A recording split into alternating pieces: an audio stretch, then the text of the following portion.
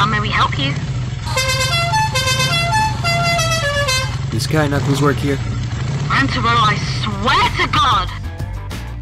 If you ever fucking serve him, you're fired immediately.